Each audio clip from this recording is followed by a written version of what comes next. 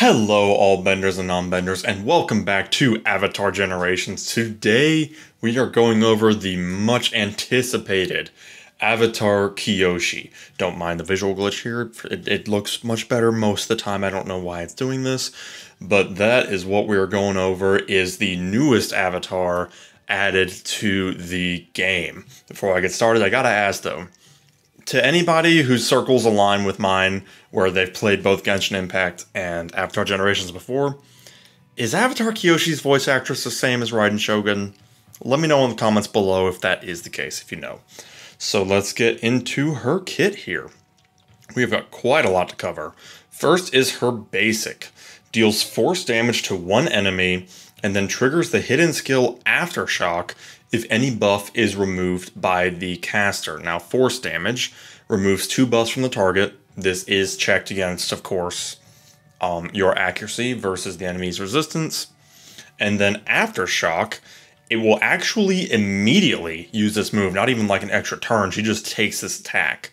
And what Aftershock does deals nature damage to all enemies, which basically inflicts, in her case, the earth element for one turn, which does ignore resistance and then increases the defense and crit rate of all allies by 5% for one turn for each elemental effect on the enemy. So if there's two elemental effects on the enemy, that's 10%, 3, 15, and so on and so forth. Theoretically, if you're hitting a full team, that's four right there, not even counting other buffs that or other debuffs that might be on the enemy. Very important to keep in mind there, a pretty substantial buff. Now, if we take a look at her advanced, it is a three turn cooldown. Dust Up deals two hits of disruptive damage to one enemy, and then trigger the hidden skill Overwhelming Wind, wind if two or more buffs are present. Now, I am going to give a little distinction here. This one triggers if a buff is removed. Again, really have to keep in mind that accuracy resistance check. This one is only if the buffs are present. So this one can be pretty easy to proc actually. Disruptive damage. Each hit inflicts one of the following effects. It could be knockdown, increasing their cooldown by one, a 30% turn bar decrease, or 20 reduced focus. And remember, this will happen twice. Again, this of course checks accuracy versus resistance, but it will happen twice, so you can get some very cool effects there. And then the hidden skill, Overwhelming Wind, if we take a look here, deals overwhelm damage to all enemies with a 50% chance to remove all buffs from each enemy. Now, what overwhelm damage does, this one's very interesting. It inflicts the target with their own element for one turn, we'll get to that in just a second, and decreases their turn bar by 15%. What this means is let's say you're hitting a firebender with this. It will inflict them with the fire element debuff.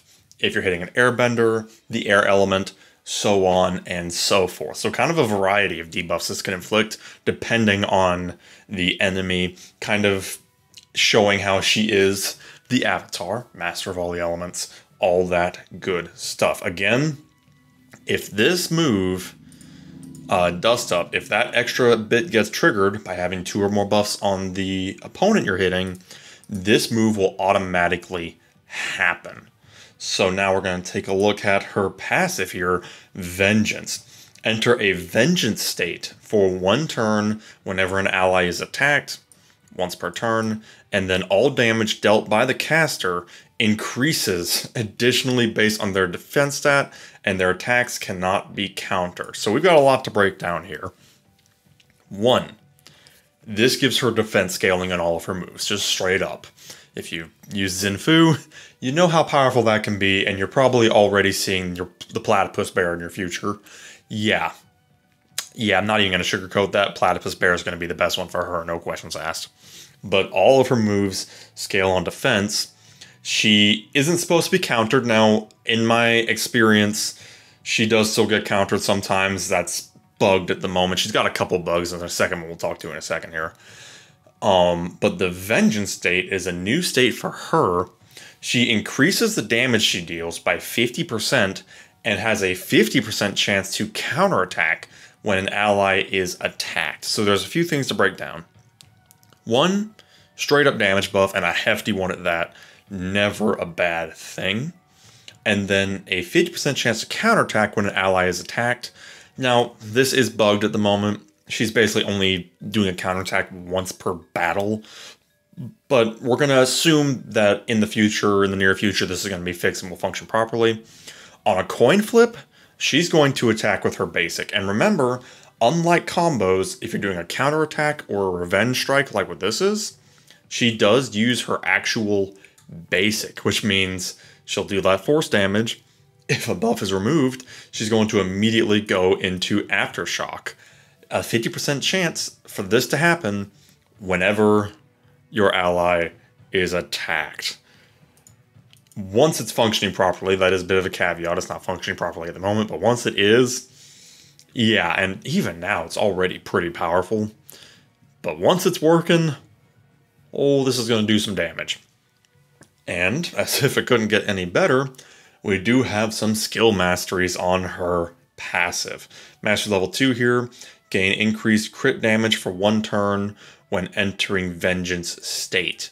Now, this seems to apply to everybody, if I'm not wrong. It doesn't explicitly say it, but just from what I've seen in my testing, assuming I've seen it correctly, everybody gets the crit damage. So this is a pretty nice little wide buff here for your team. At Mastery Level 3, remove one elemental effect from each ally when entering Vengeance state. So if you have an enemy inflicted with a nasty debuff that's shutting them down, this will cleanse one of them every time she goes into this state. And then Mastery Level 4 here is a nice little damage buff.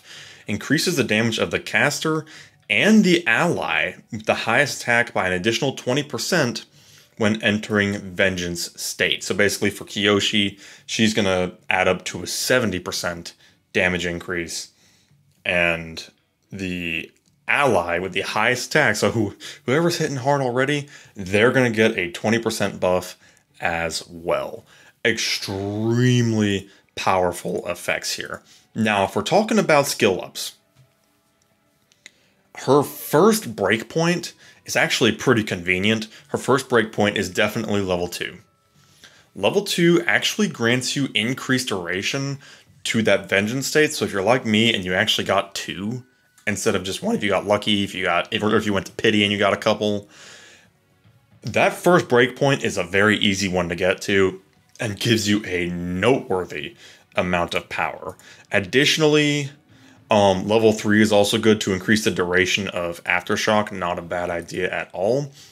Um, and then the next breakpoint would definitely be 5 because you get even more Vengeance State. But if you're trying to be, if you're trying to get the maximum usage out of her while still being fairly budget conscious, level 2 is fantastic. You get that second Vengeance State just in case she needs it up longer, then you are good. But honestly, Vengeance State's so easy to proc, you hardly even need that. Just something to kind of keep in mind. Extremely powerful effects here. I have been using her in Arena. This move actually hits like a truck for some reason. And part of this might just be showing how Xin Fu is extremely good because he's on the team and probably does a lot of the carrying. But Kyoshi puts in some work I've noticed, so some very cool stuff to keep in mind there if we take a look at her arts, defense, let's let's not beat around the bush here. You want as much of the defense as humanly possible. You want to go for a defense art. You can get the there is a new defense set in the timeline shop that you get with timeline currency. I would honestly stick with the original one though for a couple reasons. One, the original one works great. Um, two, if she does die, then all of her allies get a nice little buff to defense and the enemies get a debuff to defense. And also, timeline currency is very premium at the moment. And considering you can get a lot of other good stuff, including like 15 event tickets and 15 Peace Chaos tickets, you really want to save those currency items for other things, namely those tickets. Artifacts really aren't going to be worth it, especially if you don't get a good roll. So honestly, Stick with the defense set that's already in the game. It will not steer you wrong. Additionally, you do not want to slack on the resistance. Now, nice thing is here, I do have a pretty decent setup here. I've got four out of six with accuracy, and the other two are resistance. I can't decide if I want to sacrifice some of that resistance for even more accuracy. I kind of don't because I do want her to be able to not just get not just be, you know, a punching bag for debuffs. But she really does rely on accuracy because that basic does need to actu- actually remove the buff. So just something kind of keep in mind there. Do not slack on the accuracy. For whatever support you want to run on the team, I, I mentioned this already, but the platypus bear will not do you wrong. Frankly, I mean, it's a four star. It's literally free to play in the shop right at this second. Yeah, it you just you, you can't go wrong with this thing. Um, now, at the time this video goes live, we will be getting another powerful opponent banner. So this platypus bear is probably only going to be up in the shop for um, adventure points for the next few hours. So if you want him, jump on him. I did get all three copies with adventure points, and I do not regret it because this 25% defense boost, it makes her stronger. It makes Xin Fu stronger. It's kind of nuts. This thing, this thing blows five stars out of the water. What can I say? Um, I'm not even gonna bother. I mean, if you, if you for some reason had a maxed out Flopsy or something for the crit damage, I guess but this has the double effect of not only making her damage stronger, but also making her just straight up bulkier, same as Xin Fu. So honestly, Platypus Bear is your one and only by a hilariously long shot. Um, looking at the relics, we do have a little more competition on this one. Her signature relic was the Inheritance Relic. This one's interesting because it grants increased defense to all allies for two turns, whenever the opponent uses a multi-hit attack, there's a chance of this happening two times per battle. I am not a huge fan of this relic. Mostly because what this thing does, Iroh can do on a good day. Iroh can grant your whole team tenacity, and then assuming that that tenacity lasts long enough, he can then grant the whole team defense without having to tie it down to a relic. So, yeah, I really don't see a whole lot of use in this un- unless you just happen to have quite a lot of it. Um, this is the current event relic, the Jessa's Jesus Journal. It's interesting because it basically just decreases the damage you receive from Exile, Rebel, and Outlaw factions by 25% helpful if you're being really bothered by a Fire Nation Zuko or a Kiwak or a Dojo Master. But again, it is kind of a it's a generalist one that's not always going to apply. Of course, you do have your usual defense relic. Statue of Kyoshi is not bad. Um, the masks are not bad. It did get the buff where it'll only trigger every two turns, but still all right. But honestly, her best in slot is going to be probably the origami flower. This thing, what it does, whenever she enters a positive state, it'll just increase her defense by 50%. And remember, she's going to be entering that positive state very often. So for one turn, she's going to get the increased damage and increased defense. There's really no reason not to use this. You could also give her the Games of War if you kind of splurge on it like I did in the last Powerful Opponent banner, but I kind of feel this works better on Xin Fu because Xin Fu actually does get buffs, whereas Kyoshi does not consistently grant herself buffs, except in certain situations. And frankly, I kind of like having the Origami Flower on her, with Xin Fu being the buffer with the Games of War. So my recommendation, Origami Flower is the way to go. And yeah, that honestly about sums it up with her. She does some crazy stuff.